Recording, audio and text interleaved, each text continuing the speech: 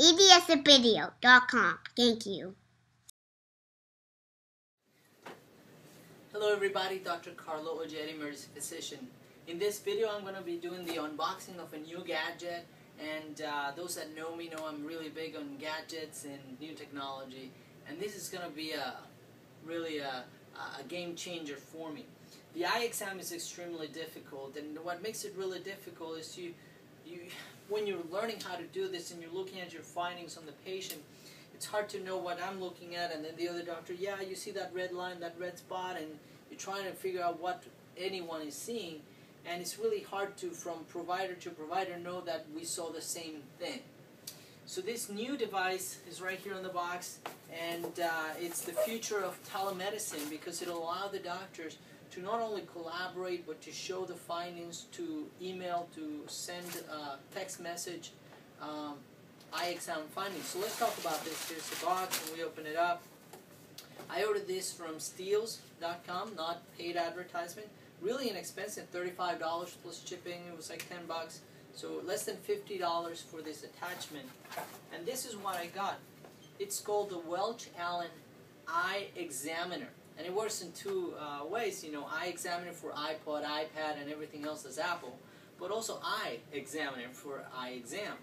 And this is what you get. It's an attachment for the ophthalmoscope, and not only any ophthalmoscope, but the PanOptic ophthalmoscope by Welch Allyn, in which you can attach an iPhone and then collect pictures or video of the exam findings you're seeing. Very um, non-technical. It's basically a piece of plastic that has the right optical distance so that the recording can take place.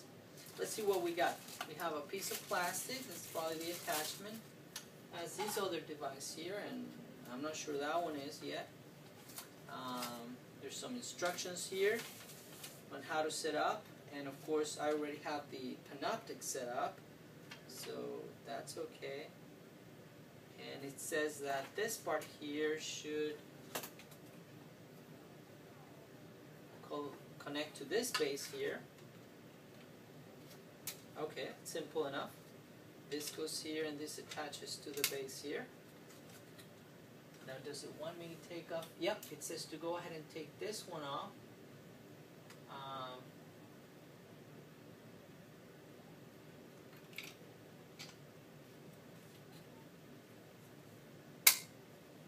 and it clicks like so.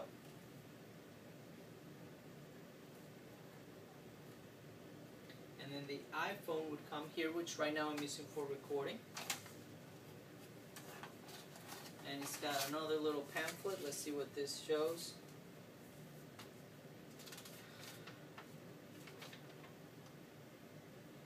Oh, it's got an app that I need to download, Welch Allyn uh, iExaminer for the PanOptic.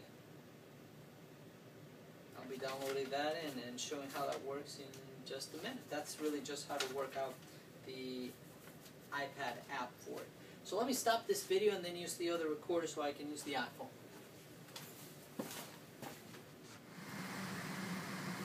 So I'm not recording out of the computer, so the image is not as great. Um, I have already downloaded the iExaminer app, which is a free app for Welch Allyn. It's right here. You click on that. You have to do a little acknowledgement first and then learn about the iExaminer Pro, results, retinal image, saved exams, and so on. So you click on retinal image, and then it goes into camera mode basically, which you can see a double image there of me. And uh, all you have to do is fit in the phone just like so. And at that point, you can do your exam. Uh, before, you would have to be looking through very close to the patient, trying to see what they see. Now you can just kind of be looking at this. And I don't know if I can do this myself, but see if you get enough of an image there. Um, you, you would have to focus to make sure you're in line, but it's, essentially you can now see your eye exam and you can record it, you can save images, you can talk to your consultants about what you're looking at. So this is a great device for less than $50. Now all of a sudden you can save images. So hopefully I'll be able to acquire some good off-the off helpful So hopefully I'll be able to acquire some really good pictures and images of some pathology and have some videos made about that and uh, increase the ability to teach about medicine, about eye exams and everything else using this very inexpensive plastic device um, for the iPhone. Um, so that's it. I hope you like this video. Definitely one thing I'll be using quite a bit. I'm really happy they made this. Right now it's for iPhone 4. Uh, I'm sure iPhone 6 must be on the way if the iOS 7 is already out. Uh, so it probably needs an update soon. But for now, I'll just have to stick with this one and use it. Alright guys, take care. And stay tuned for my next video where I hopefully update some, some pathologic findings or some eye exams and things like that. Bye-bye. In focus, try the following. Check to see that the focus wheel is set at zero.